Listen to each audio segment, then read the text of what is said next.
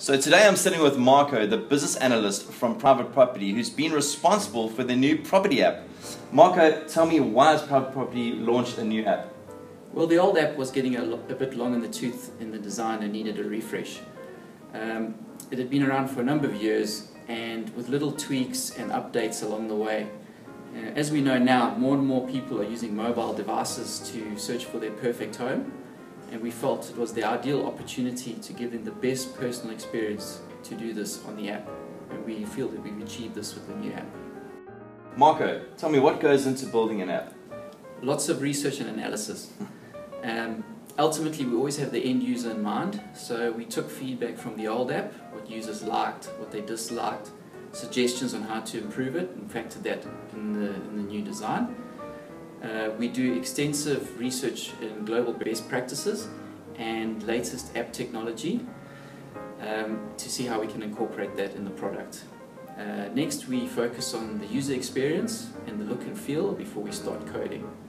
And then once we start coding, we're constantly tweaking, testing to make sure we're 100% uh, confident that we're going to release an awesome product.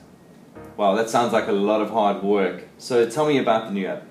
Well, we're really excited. It makes searching for property really simple. So for example, you could be searching for property, say in Bryanston, and it has South Africa's first property feed.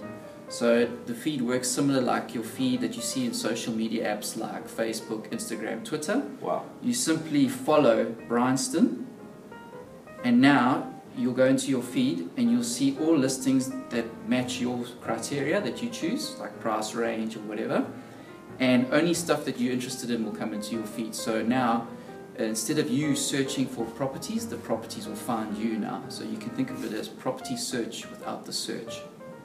That is absolutely brilliant. Is it available for download now? It is. It's available on Android in the Google Play Store and on Apple in the App Store. And if you want more information, check out our page on privateproperty.co.za. Thank you so much for talking to me, Marco, and we wish you all the best with this new app. Thanks, Marc. Thank you.